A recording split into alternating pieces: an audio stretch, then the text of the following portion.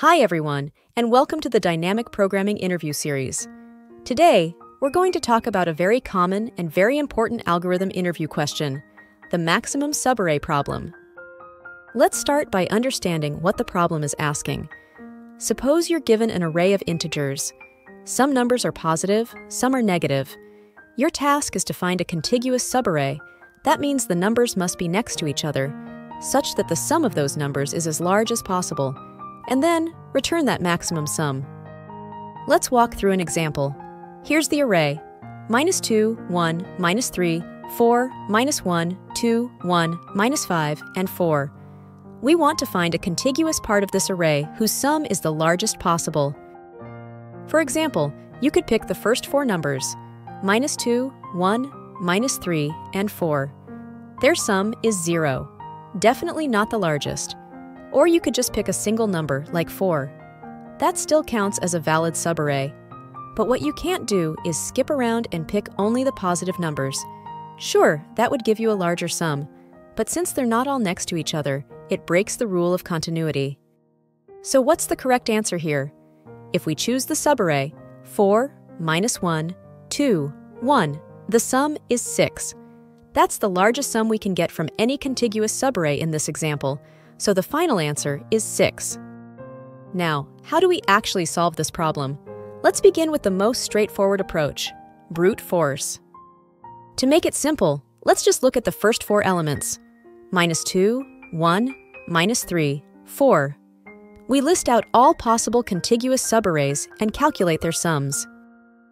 There are four ways to choose just one element, three ways to choose two elements in a row, two ways to choose three elements, and one way to pick all four. That gives us a total of 10 combinations. The largest sum among them is 4. We can also write a simple Python snippet to do the same thing. The idea is, loop through every possible starting and ending index, calculate the sum of that subarray, and keep track of the largest one we find. This approach is easy to understand and not too hard to code, but it's not very efficient. If the array has n elements, the time complexity is O(n) squared so it's not ideal when you're working with large input. Is there a smarter way? Yes, and this is where our main character comes in the Kadane's algorithm. Kadane's algorithm is a clever and efficient solution using dynamic programming. To help explain it, let's think about it like a series of stock trades.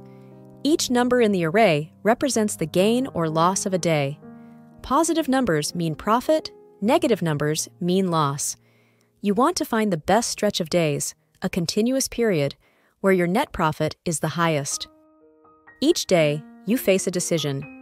Do you want to hold your position and add today's result to your running total? Or do you want to cut your losses and start fresh from today? Kadane's algorithm is simply doing that exact check at every step. Keep adding the current number to your running sum if it's better, or reset and start from today if today's number alone is better than continuing the old sum. We'll use a variable called current sum to track the running sum of the current subarray, and another variable called max sum to record the best result we've seen so far. Each day, we ask ourselves, would it be better to add today's value to current sum, or just start fresh from today? If adding it is better, we continue. If today's value alone is better, we reset current sum to today's value. This gives us the core update rule of Kadane's algorithm, Today's decision only depends on yesterday's result and today's value. Either we keep going or we start fresh. Once we finish looping through the array, max sum will contain the maximum subarray sum. Let's walk through the example step by step using Kadane's algorithm. The first number is minus 2. We haven't seen anything before, so both current sum and max sum are minus 2. Next is 1. Add 1 to current sum. Minus 2 plus 1 equals minus 1. Or just start fresh with 1. 1 is bigger, so we reset. Current sum becomes 1, and max sum updates to 1.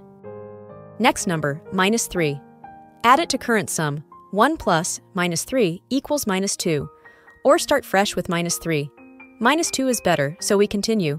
Current sum becomes minus 2, max sum stays 1. Next is 4.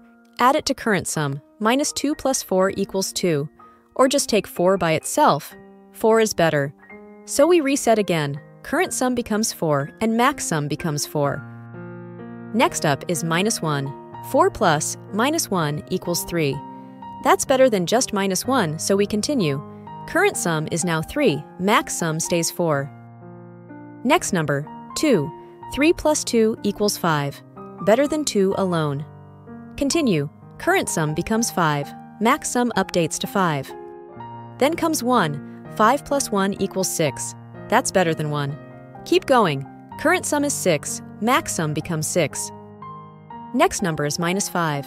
6 plus minus 5 equals 1. Still better than minus 5, so we keep going. Current sum becomes 1. Max sum stays at 6. Last number, 4. 1 plus 4 equals 5. Better than just 4, so we continue. Current sum becomes 5, but max sum remains 6. We've now gone through the whole array. The biggest sum we ever saw was 6, so that's our final answer. Here's how Kadane's algorithm looks in Python. It's short, clean, and very efficient. At each step, we're just making a local decision. Keep going or reset. We only use a single loop, so the time complexity is O(n), and we only use two variables, so the space complexity is O1. Now let's wrap up by asking, why is Kadane's algorithm considered dynamic programming? First, it has optimal substructure. The best answer at position i depends only on the result at i minus 1, not on the full history. Second, it has overlapping subproblems. We're repeating the same kind of decision at each step, which we can handle efficiently using just a running state. Because it has both of these properties, we're able to solve the problem in such a clean and elegant way. All right, that's all for today's topic on the maximum subarray problem. If you found this video helpful, feel free to like, comment, or share it with someone preparing for coding interviews. Thanks for watching, and I'll see you in the next one.